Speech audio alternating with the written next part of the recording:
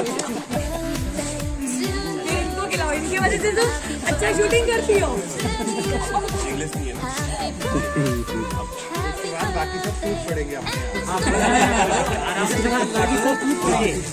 पड़ेंगे